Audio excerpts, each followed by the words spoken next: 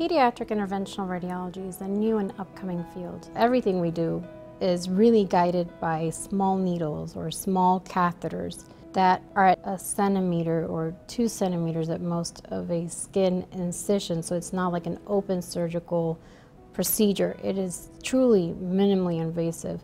So the family, all they get to see at the end is sometimes a little gauze with a little band-aid.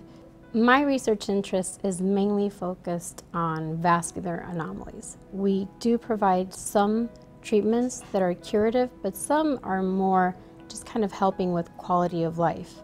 Finding more information about them and what treatments would be more effective for me is extremely important. With this technology, we're able to, through a minimally invasive approach, give a treatment and have patients feeling a lot better within a couple of hours. And they're here for maybe a day, sometimes at most, of recovery, and they go home and they really see the results. My initial training was pediatric radiology.